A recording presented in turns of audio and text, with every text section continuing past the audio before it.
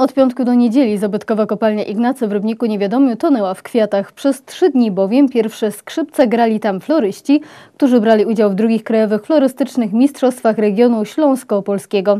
Zawodnicy rywalizowali w czterech konkurencjach i udowodnili, że z kwiatów można zrobić prawdziwe cuda. Droga zawodowa florysty nie zawsze jest usłana różami, każda z dróg przebiega jednak bardzo podobnie. Najpierw jest pasja, jakieś zamiłowanie do kwiatów w pierwszej kolejności.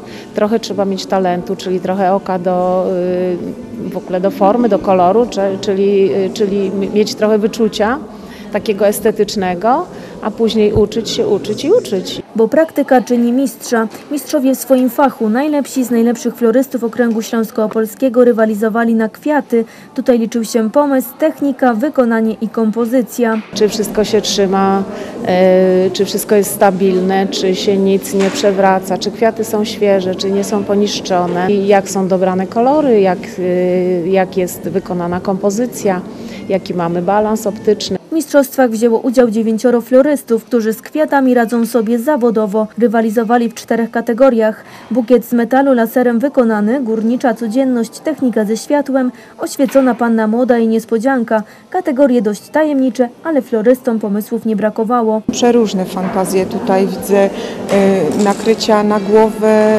y, bukiety w formie berła, szale. Nie brakowało też emocji i stresu, tutaj bowiem liczyła się każda sekunda, a po upływie czasu wszystko musiało być dopięte na ostatni guzik. Duży stres, same przygotowania do tego, obmyślanie tematów, e, potem obmyślanie jaki materiał florystyczny zakupić, ile go zakupić, czy wystarczy, czy zdąży z czasem. Ja nie zdążyłam niestety ze ślubną a potem oceny. Oceny jednak nie były strogie, bo sędziowie zgodnie twierdzili, że tak wysokiego i wyrównanego poziomu już dawno nie było. Widzimy, jak florystyka nam się wzmacnia w Polsce i coraz, coraz więcej floryści wiedzą, umieją. Takich kompozycji jak te na mistrzostwach trudno szukać w kwiaciarniach. Tutaj mamy artyzm, w kwiaciarniach mamy florystykę użytkową co nie oznacza, że podążając za starym powiedzeniem klient nasz pan, artyzmu nie można do kwiaciarni wpuścić.